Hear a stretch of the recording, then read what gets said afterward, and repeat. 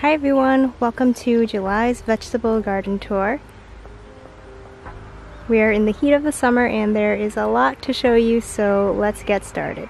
Before we get into our raised beds, I actually have this area to the left of our raised beds that I've actually never shown before because there's usually not too much going on. But now we do have cucumbers growing along this trellis. We have a few different kinds of cucumbers, and so far I've only seen two of them start producing. This one here is a Chicago pickling cucumber, and the other one that we've had is the miniature white. I don't know if it's because these guys are smaller that they're the ones producing and the other ones are just going to take longer or if maybe those seeds never came up. But we did also plant a silver slicer and a Marketmore cucumber. So we'll see if we get those later on. But so far we do really like the pickling cucumbers as well as the miniature whites. The miniature whites are a little bit more tender and they're sweeter, so if you're looking for a really nice snacking cucumber, this is a really good one. The only downside is that obviously since they're so small, you need a lot if you're going to be doing any kind of preserving. We did use them last year to make pickles and they did hold up really well to the canning process, but you just need to use a ton of them. Okay, so now moving on to our raised beds. In this first one, we have a few pepper plants on the end and they are really producing a lot. These two plants on the right here are a Korean hot pepper and they are just loaded down with peppers. I've picked a few of these green and just um, stick them in stir fries. You only need one per stir fry because they do impart a lot of spicy flavor to the rest of what you're cooking. But we really like that. Some of them are also starting to turn red and we've picked a few of those to dry as well. On the left we have a shishito pepper and we've just harvested a ton of fruits. We got our first flush from this plant and now it's putting on lots more flowers since we've harvested those peppers and it's going to start producing a second flush of peppers that's going to be even bigger than the first. Next to that we have a couple of pepper plants that we bought as starts to replace some of the peppers that died in a late frost. Those ones are a little farther behind since we had to plant them a little late, but they are just starting to put on flowers now, and these are more of like a bell pepper sweet variety. And actually this plant in the back does have one pepper that's forming here. Those are looking pretty nice and healthy. We have a really long growing season, so even though these peppers are a little farther behind than if the ones we had started from seed had survived, there's still going to be plenty of time for them to produce peppers. All around those peppers, I've popped in some bush beans. And actually, I just noticed that these purple ones have already started producing. I didn't realize that, so I'm gonna have to come out and start picking these. These green ones are probably a dragon tongue bush bean, and those produce a little bit later than the purple ones, but you can see that they're putting on their flowers here now. Oh, actually, I just found one of the dragon tongue bush beans is also starting to produce beans. There's a really nice sized one down here. These are really beautiful beans with the purple streaks and the purple makes them really easy to pick as well because they stick out from the foliage. This pepper plant grew back from a stump of the pepper plant that died in the late frost and it didn't do anything for a really long time and I thought it was completely dead but it actually is putting on fruit now which is pretty exciting. I kind of just left it here just in case this would happen and I'm really glad that I did. So last month we had a zucchini plant right here, but we've had some really bad vine borers this year and we had to pull that out pretty quickly. We only got like four or five little squash before the vine borers killed it. Then on the end of this bed, we have a mix of kale and pepper plants. This time of year, kale is really hard for us to grow to eat, but I have kept these in here to feed to the chickens. Every day I pick a few leaves for them and they really enjoy eating those. And I make sure to pick the big leaves so that these plants don't shade out these few pepper plants that we have here. These are more starts that we purchased and this is a Hungarian hot wax pepper. Those are starting to put on a ton of fruit you can see up here.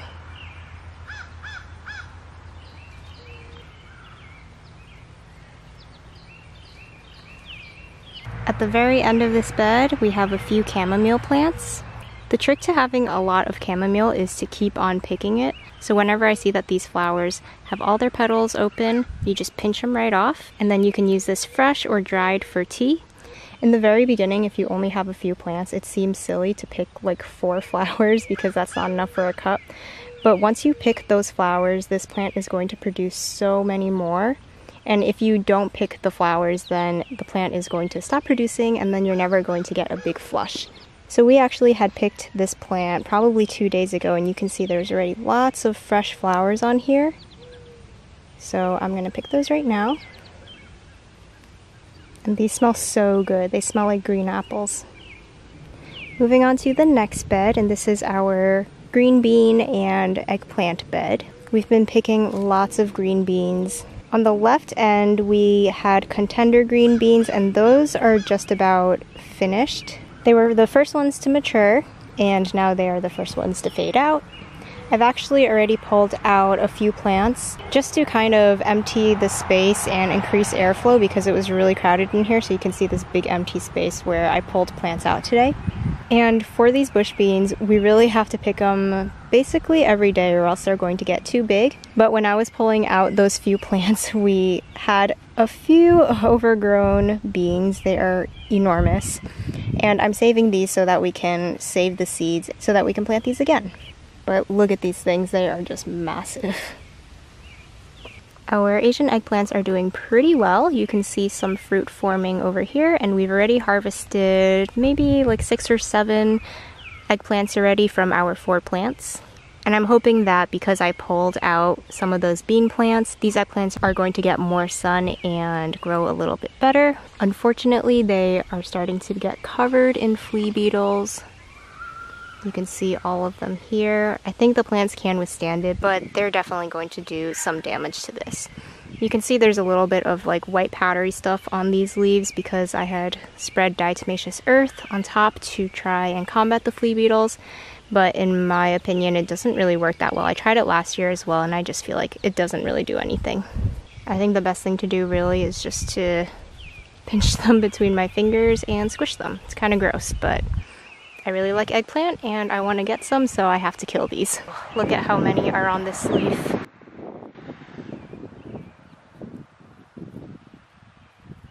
So on this side we have more of those dragon tongue bush beans and the beans in this bed were planted earlier than the ones in the other bed so they're farther along. And even though a lot of these beans are starting to fade, since we succession planted and have new green bean plants in the other bed, we're going to have a steady harvest so that we can eat green beans pretty much all summer long. And we also have a few plants on this side that are a purple bean. Those ones are really beautiful. We've been picking enough beans to probably eat every other day. Unfortunately, we haven't had too much at one time that I can preserve them.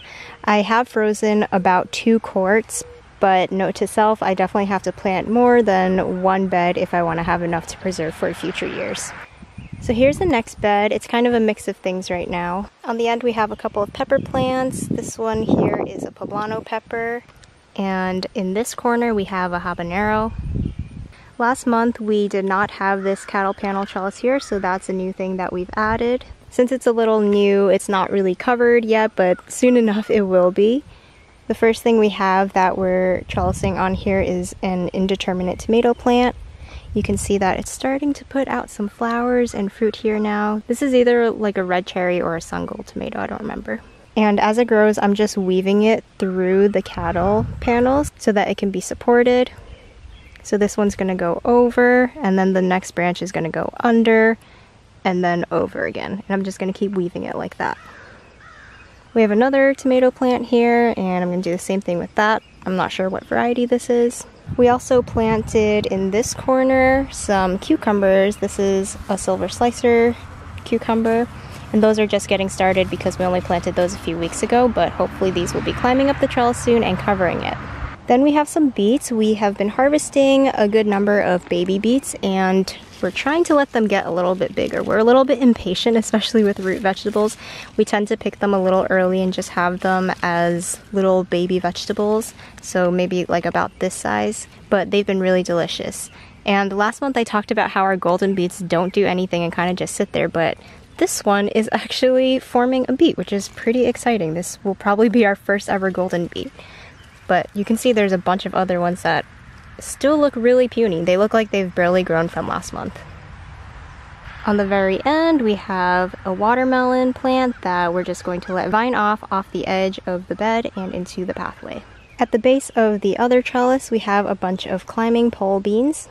These are a rattlesnake pole bean, and those are just starting to get big enough that they are climbing, and soon they'll grab onto the trellis.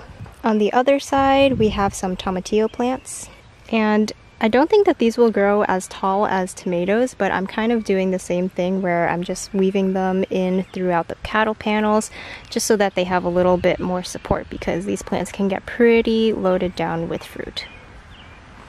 We have some more cucumbers here and also I think this is a winter squash. Then we have a few pepper plants these are the ones I had to restart when our first ones died, and this is an Ajvarski pepper, which was our favorite sweet pepper from last year. And they're doing pretty well and starting to put off flowers, which is great.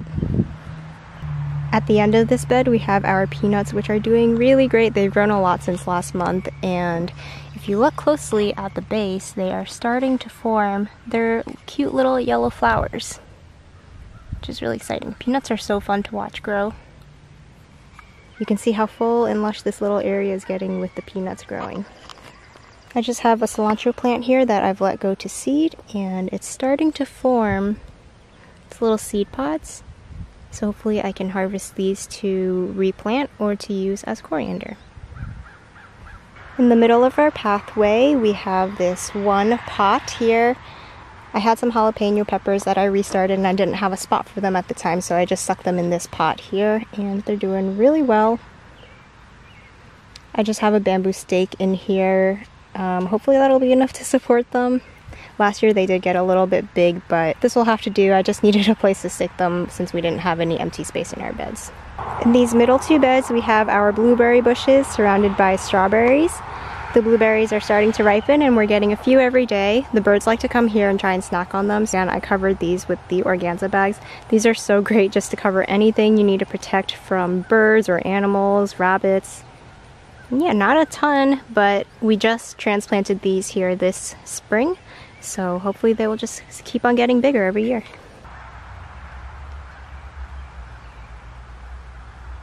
On the other side of this garden, we have another cattle panel trellis. This one was installed a few weeks earlier than the other one, so it already has some stuff growing along it. We have this dahlia plant on the edge here that is so beautiful. And then we also have a ton of sweet potatoes that are growing so amazingly. These are sweet potatoes from slips that we started by ourselves and I have a video if you want to learn how to do that. But they are starting to vine out into the pathway, which is exactly what I want. And they are doing really well in this spot. Behind the sweet potatoes, we have some sunflowers. These are cutting sunflowers. And we have had a deer come around here and eat some of the leaves. So you can see that I've covered the heads of these sunflowers with organza bags just to protect them. These are pro-cut sunflowers, which are specialty cutting sunflowers that you have to pay a lot for the seed. So I will be really annoyed if the deer come and eat the heads off like they have done in our flower garden. So I just wanted to protect these as well as possible. In the corner we have another watermelon plant that is just trailing out into the pathway and it's starting to put off some flowers actually and I noticed today it has this little baby watermelon female flower. So cute.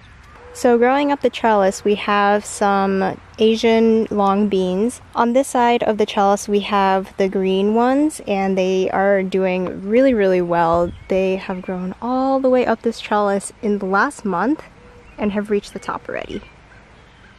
On the other side, we have the red variety, and those have only gotten about maybe five, four or five feet high. I usually find that red varieties of things don't do as well as green varieties for some reason. I don't know if that makes a difference or if it's just coincidence. And this bed is mainly for our onions that we grew from seed. And I am pretty impressed with how they are doing. They are starting to bulb up now and they're looking really nice. Like this is already a great size and it looks like it's still growing. The stalk is nice and healthy and these bottom leaves have not started dying yet. So I think that this still has a bit to grow before it's ready to be harvested. I think in this bed we were able to fit at least 50 onions, which is pretty incredible. And some of them are a little bit smaller, but that's totally okay. There's definitely some nice, good-sized ones, which I'm pretty happy about. On this side, we had our leeks, which we have harvested all of already. They were so delicious. And in their place, I popped in a couple more tomato plants. So this one that was next to the trellis, I thought I would use that spot so that I could support this tomato plant as it grows. And then this one here is a determinate tomato. So I just have the one stake for it and hopefully that will be enough support for it. The next bed is probably one of my favorite beds. It is full of determinate tomatoes and also has these marigolds on the four corners that are Aaron's favorite. They are looking so beautiful and bushy. This is a really exciting time because our tomatoes are just getting ready to be picked. This will probably be the first one of these determinate tomatoes that will be ready to pick probably in two days, I'd say, one or two days. And look at this beautiful line of four red tomatoes in a row. What a good sight. These plants have gotten so loaded down that they are just leaning over.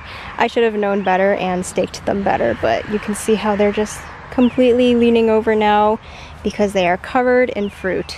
I mean, in this shot alone, there's like a dozen tomatoes in there.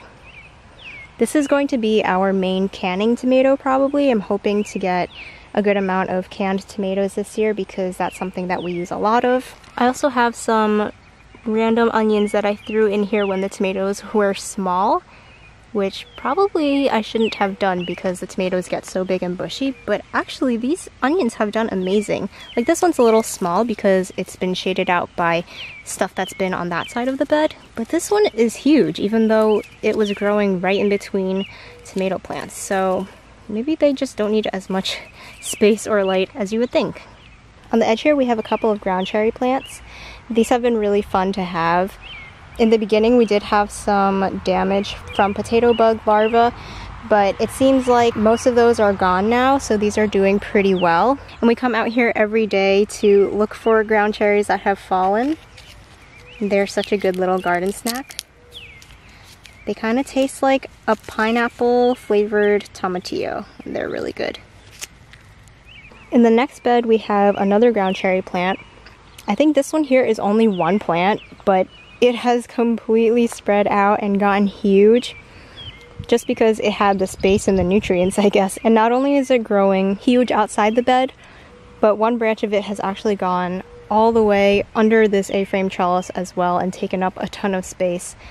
I'm pretty sure it's already reached to the other side of the trellis. Maybe I could go on the other side and show you. On this A-frame trellis, we have four cucamelon plants. I was just about to say that I'm pretty fed up with these plants because we give them so much space with this A-frame trellis and they so far haven't produced anything. But I just noticed this tiny little cucamelon and I'm not really sure when you should pick them. I know that they don't get very big, so maybe this is the size. I'm gonna pick it and try it now. Mmm, that didn't taste that good. Maybe it needs to go a little longer. I don't know. Tasted kind of weird. Anyway, moving on. Underneath the trellis last month, we had a bunch of carrots and lettuce. The lettuce we pulled out and fed to the chickens. And we pulled out the carrots last week, but unfortunately we didn't really get anything. I think it was a combination of our soil being too high in nitrogen and also we had some damage from these little like maggoty things. It might be carrot rust fly. I looked it up and I think that's what it was. We do have a few beets under there still that we're gonna need to harvest soon. I don't know if they're gonna get much bigger because they're shaded out. They're just kind of a nice baby beet size to eat. And here, let me see if I can sneak in here. You can see this is that ground cherry plant and it's gone all the way through to this side of this trellis. And this trellis, I think, is four feet wide. So this thing is a monster. We have a couple more tomato plants here. Here we have a little bit of an empty space. This is where we had our four celery plants and those have all been harvested and eaten. In their place we did sow some red mustard. It might be a little early for this, it might be too hot, and we're also not even really a big fan of this, but we planted this for the chickens because I think they will enjoy it. Figured we might as well use the space since we didn't have anything else to plant here yet. This big bushy plant is lemongrass and it is looking so beautiful. I love that it makes me feel like I am in the tropics even though I am not. And I think sometime this week or next week I should actually come and chop off a bunch of these tops and dry it for tea.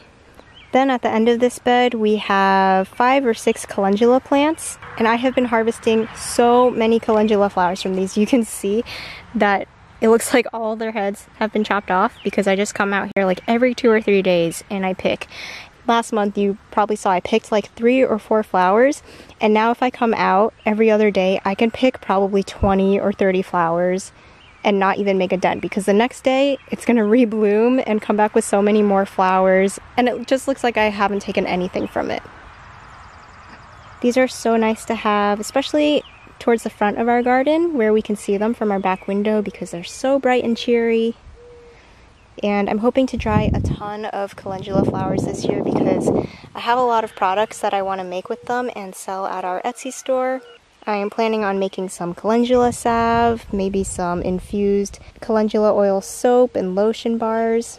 So yeah, I have a ton of plans for all of these flowers that I'm drying. So our two larger trellises on the right side of the garden are here.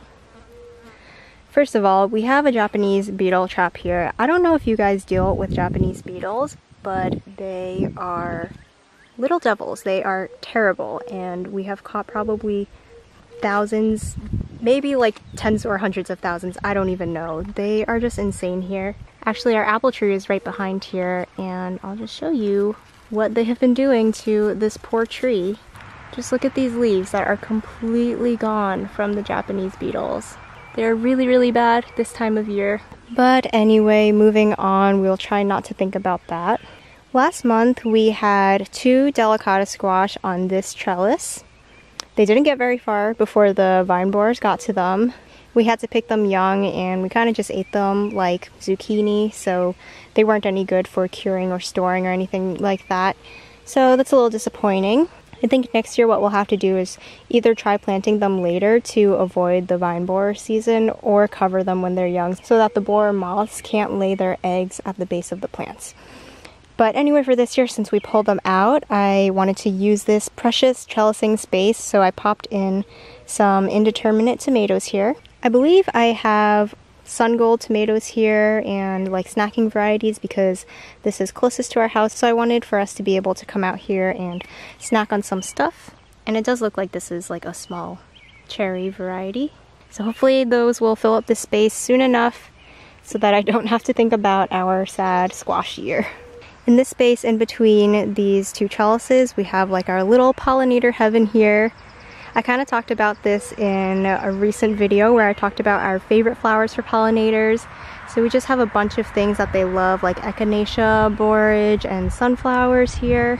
And there's always just a ton of bees here. This little guy is sleeping on this sunflower. And these sunflowers are so beautiful. They are evening sun sunflowers. This one's probably my favorite here. On this other trellis we have some Asian gourds. I think these are just called fuzzy melons and here I will show you why. Look at how fuzzy and cute that melon is. It is so soft.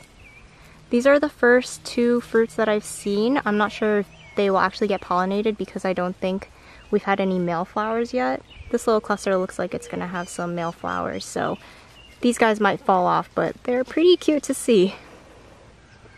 I love growing Asian gourds. They do so well in our hot southern-like climate where it gets really hot and humid. And the best thing is that the squash bugs and vine borers do not touch it. I think maybe because they're technically a gourd and not a squash. But last year we didn't have any problems with them and this year too and we had a really really bad squash vine borer year and these guys just look completely fine. And I don't really water these beds either and these plants do just fine in drought-like conditions. Back in our in-ground garden, here is our first bed and you can see that our corn has started to tassel, which is really exciting. We didn't have great germination this year, so I've been making sure to go up to the corn and just shake the tassel so that the pollen can fall down to these ears of corn down here. Each of these silks leads to a corn kernel, and if it doesn't get pollinated, then that kernel is not going to form. So I want to make sure that those get pollinated really nicely. This stalk here has actually two ears of corn on it. So hopefully we get something out of them this year. This is our first time growing sweet corn because last year we tried growing like a popcorn drying variety, which I don't know if I'd recommend. I think sweet corn is probably more worth the time and effort. Also in this bed, in this bare area where we didn't have corn come up, we have a watermelon plant. And that one is just starting to put off little baby flowers and melons as well.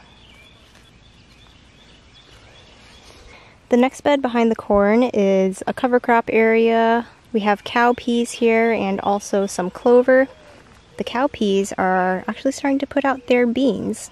And we can actually eat these. And if I let them get to the right size, I probably will harvest these and we can eat them as black-eyed peas if you take the beans out.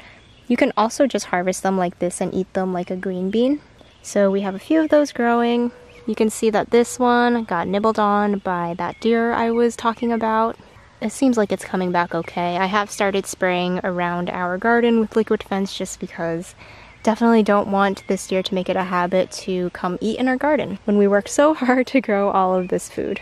The next bed here is our in-ground peanut bed. They look kind of sad right now, but I think it's just because it's evening and they like to close up their leaves like they're going to bed.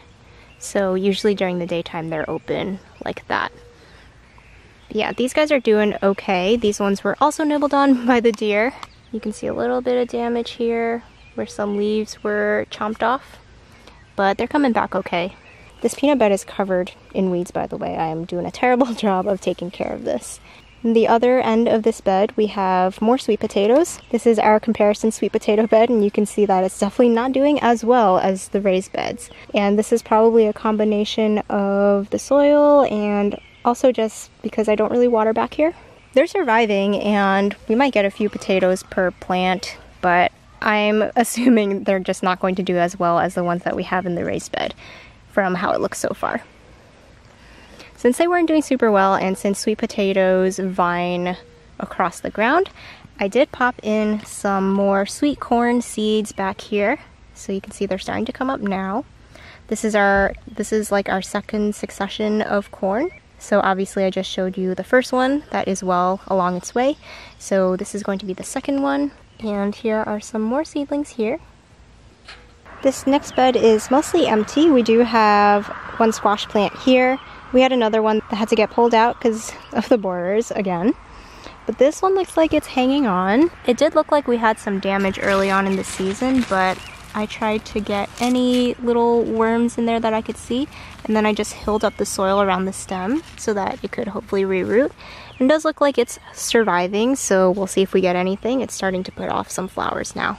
It's kind of weird how some years you just have a really good year with stuff and the next year it's terrible.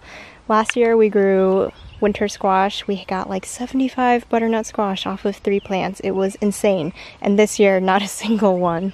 The rest of the bed I am pretty sure is empty. I can't remember if I seeded anything in here, but it's been so dry that it probably wouldn't grow anyway. We did have onions in there last month, and we've already harvested all of those and either used them up or they are curing in the greenhouse. For the next bed, we have this cattle panel trellis, and we have a few things growing up along it. First, we have more rattlesnake pole beans. These ones got chewed on by the deer. Then we have more of our Asian vegetables. This one here is bitter melon. The leaves are really pretty and it's a really pretty climbing plant.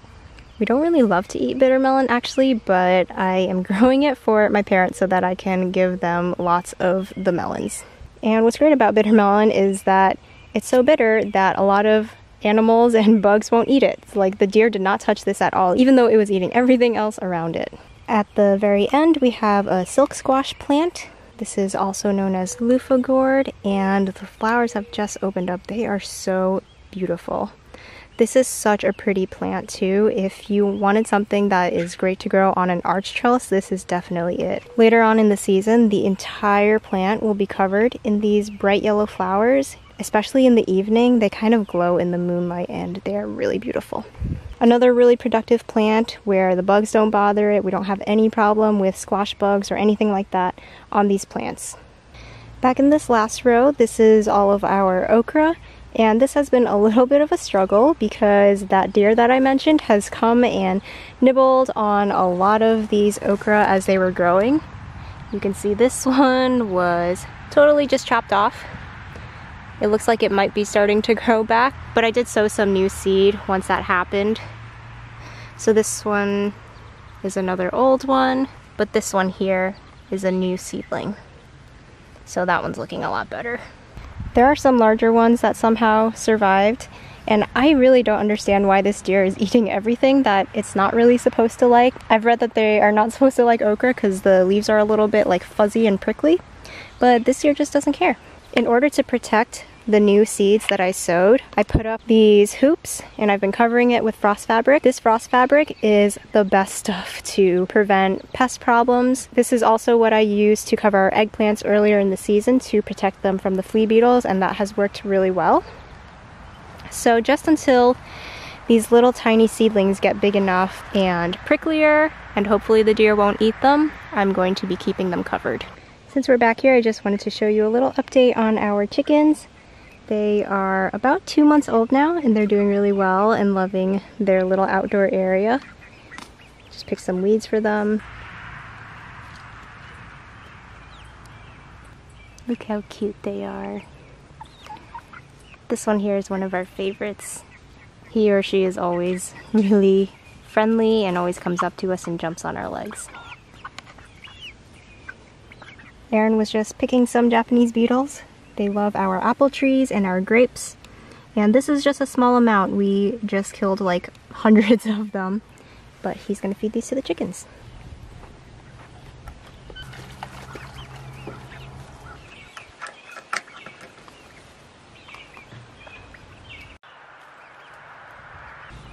So here we have our asparagus bed. We are still getting just a couple of spears a day. Production is starting to die down just a little bit the Japanese beetles also like the asparagus. They will pretty much eat anything it seems like. The next row is our tomato row. It has really grown a lot since last month. And we are starting to harvest a good number of cherry tomatoes. Here is a sungold. This is probably one of our favorites from this year. They have such a nice, almost like a citrusy tomato flavor. They're really good. Here we have a speckled Roman, which is kind of like a plum paste tomato, but it is really pretty. It's kind of stripy and I think it's going to be like orange and yellow. I'm not sure what this one is. It might be a Brandywine. And actually I think that one's ready to harvest. So I'm gonna pick that one.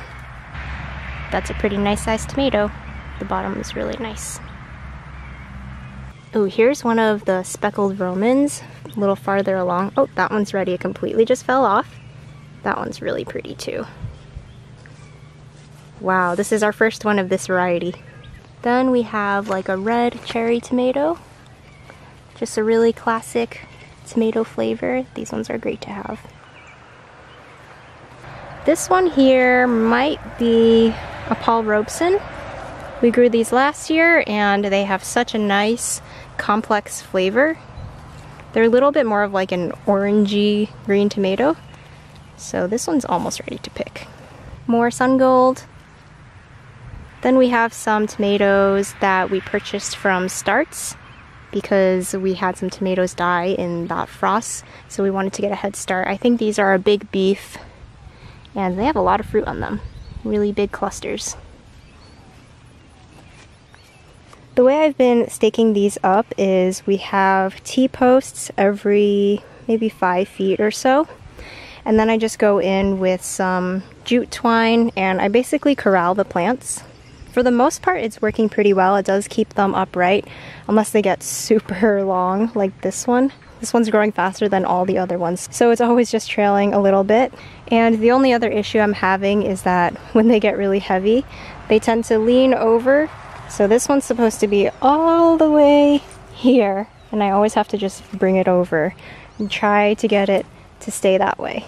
The idea was to do a little bit more of like a Florida weave system, but we didn't quite get that right just because this area was a little bit of a mess because we had such a mix of tomatoes because we had a bunch of them die and then it was just really disorganized. Hopefully next year we're gonna plant later, everything's gonna be really organized and we'll get the trellising system down a little bit better but I'm okay if it, even if it looks a little messy because you still get a lot of production from a messy garden. And just this one area that was all leaning over until I fixed it still has a ton of tomatoes on it. This is the last row and this was our potato row. A lot of it has gone now. So this whole section here we have harvested. In the front here we had red Norland potatoes, really good production on those. Then we had Kennebec here, which is more of a russet potato, and we started harvesting those. We have a couple more plants. You can tell they're pretty much ready to harvest because all of the foliage has died. And I think I'm actually going to do a video soon of harvesting the rest of these potatoes just so you can see what kind of yield you can get from a space about this size. We have a few other types of potatoes here. The tags are buried so I don't know what they are. These probably should have been picked a little bit. Let me see what's under here.